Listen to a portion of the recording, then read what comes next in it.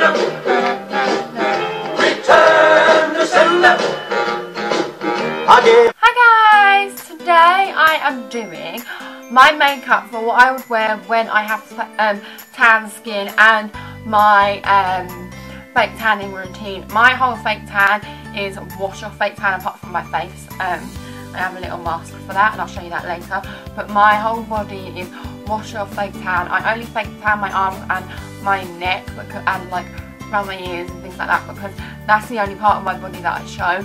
If I do show any other part of my body that day that I you know I want to, this is a really quick and easy way to um, fake tan without you know commitment and I feel like me especially I go too orange and too dark and then I'm like oh crap I've got to stick with this for about a week and a bit um, where with this I kind of it's like a moisturiser. I've mixed things with my cream so I just put it on every day as a cream. And it's really easy to make. You should have all most of the ingredients at home. Um, and yeah I'm going to show you how to make it. And this may be a long video medium size I don't know. Um, depends how much I ramble. You guys know I ramble a lot. Um, but yeah I'm going to do a get ready with me for my face. Um, I'm going to do my eyes but in a separate video um, and yeah and we're gonna I'm going to show you my routine and now the sun might change a bit so sorry about that. Oh I can see was back there I don't know if you can. He's chilling he's watching me he's fine. So last night had a shower got out um, and I put some of my DIY fake tan on. This is literally this um, cream which is the NSP a um, coconut cream. Any cream will do. I've mixed a ton of different ones in here actually. I've mixed a bit of my Loroca one, my One Direction one, a bit of olive oil, like a bit of everything, some scents in there. Um, like just every cream that I had really. And then what I've done is I was like, okay, so I want this to have a good base colour, but I don't want it to stay on so long, but I don't want it to come off and like oh, I was like, I want it in the middle.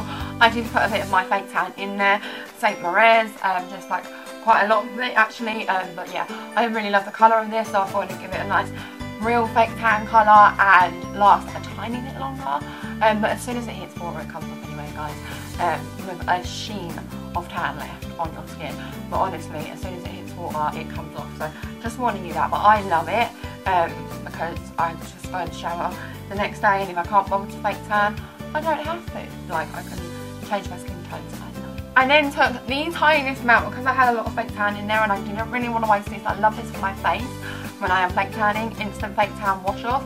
Um, just again to give it that rich tan, real kind of tan look. Ingredient, um, chocolate, hot chocolate packet. Um, I would recommend the real hot chocolates but I tested it on my skin.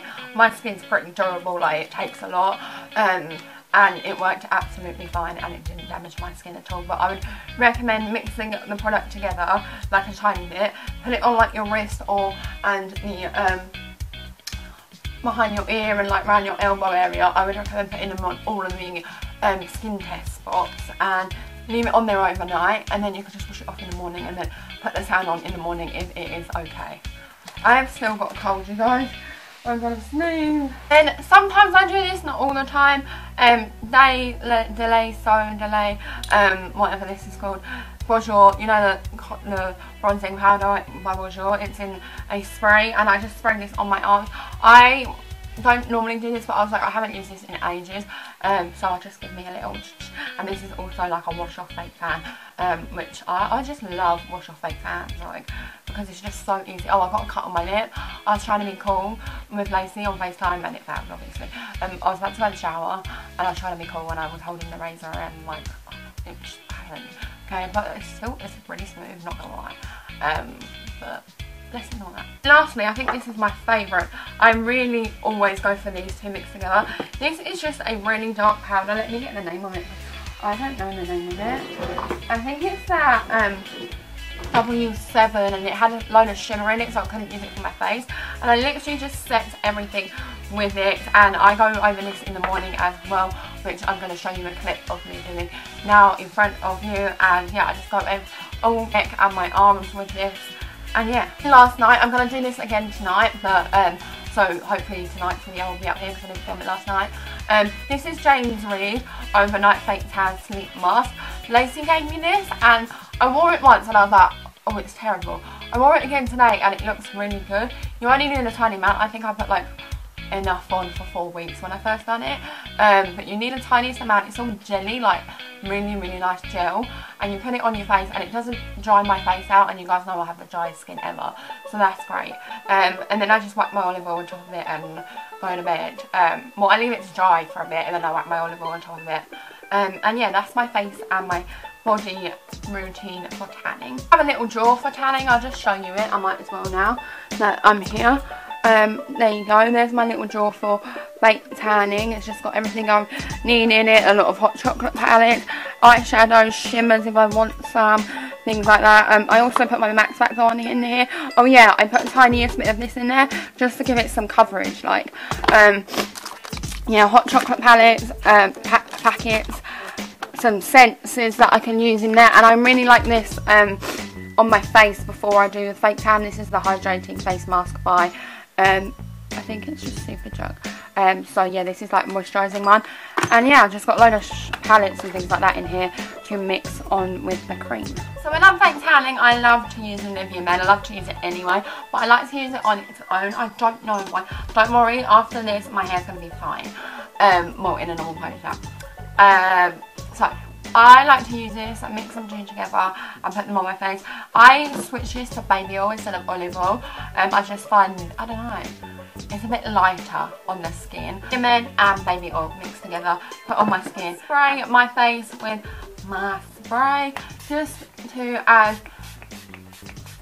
a little something. Um, I always do this in every video, so um, it just makes my skin less dry when I put powder on it and today we're using some pressed powder so I need the most less dryness I can get.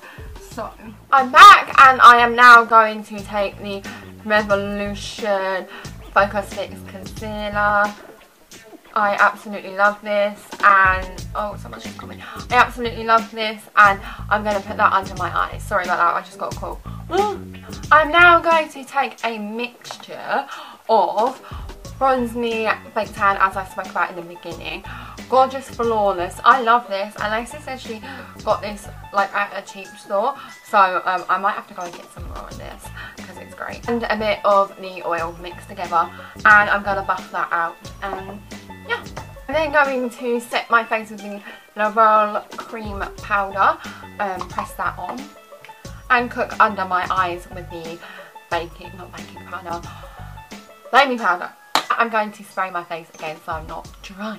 So I've done that. I am now going to do the Good To Glow bronzer. Um, I'm going to do something different. I like to do this when I've got fake tan on because it makes it more noticeable. I take a um, flat top angle brush with a bit of roundness to it really pack it in and then blend it out with a bigger brush than what I normally do. Um, I just feel, yeah, it makes it more noticeable. Then for blush, I haven't used this in ages. This is Bourjois Rose Fusion. Fusion, yeah. Um, and I'm going to use that for my blush because it's just a really light blush. I like to go for a pinky kind of side. This is MUA Undress Your Skin in Pink Shimmer. So I'm going to put that all over my highlighted area.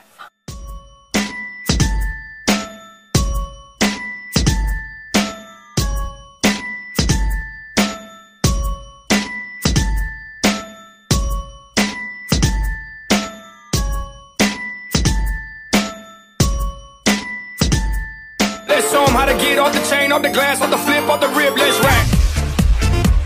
Yes. I ain't love with a stripper, but I'm getting it sprung. One time, keep bang, keep getting.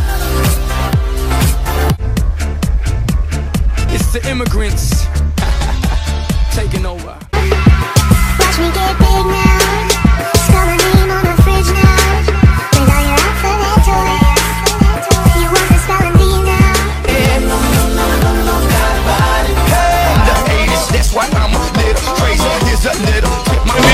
Baby, freakily.